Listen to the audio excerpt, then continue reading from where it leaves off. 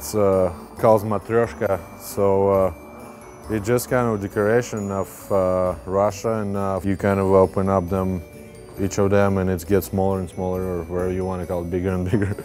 So it's it's pretty cool. It's just tradition. My uh, mom usually she cooking all day, and uh, that's the biggest one of the biggest traditions. She cooks for all the all the family, all the friends that gonna come over, and uh, we also watch the all the movies that goes on TV about uh, Happy New Year's and also Christmas. My favorite was Home Alone. Uh, that's definitely would uh, watch that one. We kind of uh, was write down on the, on the list with my brother.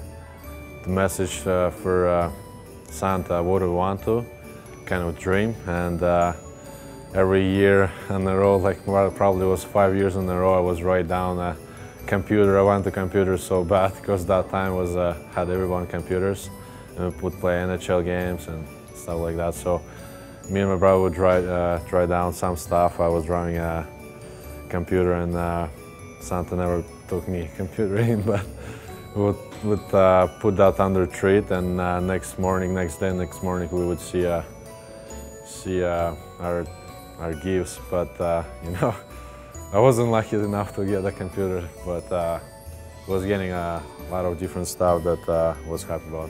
S Novim godom i Rождеством!